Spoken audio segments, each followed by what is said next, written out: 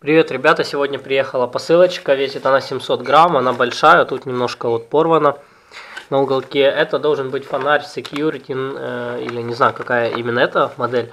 8000 люменов. Э, в комплекте должен быть аккумулятор, ну и, разумеется, сам фонарь и зарядное устройство.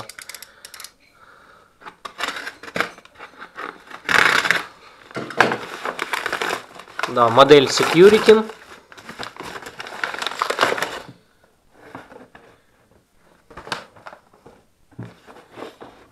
Так. Открываем. Ну, конечно... Значит так, комплектация. Это резиночки. Две штучки. Для крепления на руль. На руль велосипеда. Обжимается. Далее. Вот, просил продавца э, на европейскую, на нашу Значит, 8,4 вольта 1 ампер. Далее идет аккумулятор. Чехольчик. Э, блок аккумулятора 18650.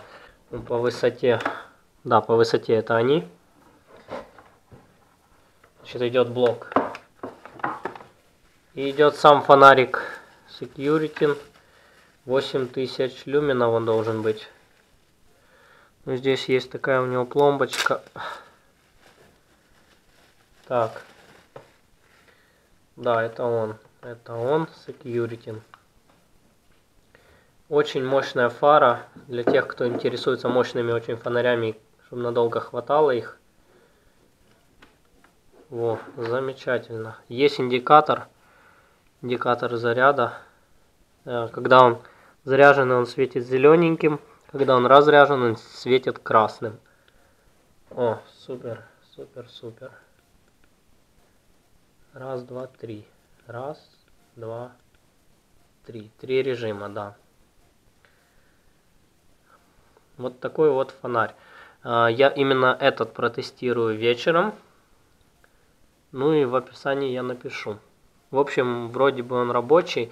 Еще интересно зарядка. Зарядка. Ну, зарядка, я думаю, она рабочая. Ну, сейчас, сейчас прямо проверю. Да, и зарядное устройство тоже рабочее. В общем, ребята, всем спасибо за просмотр. А, вступайте в нашу группу. Подписывайтесь на наш канал в YouTube.